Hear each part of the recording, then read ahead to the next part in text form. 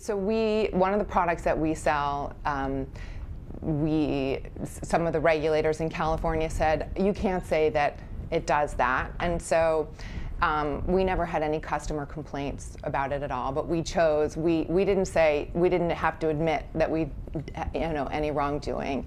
But um, we just wanted to settle it and put it behind us. And of course, as you learn and grow, you, especially when you're a startup, you know, you have to learn kind of on the job, unfortunately, a lot of times. Some of this inevitably ends up a little bit personal because of your profile and who you are.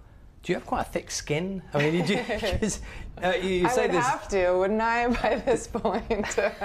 Anybody who I think tries to move the needle gets some resistance sometimes. This is part of it.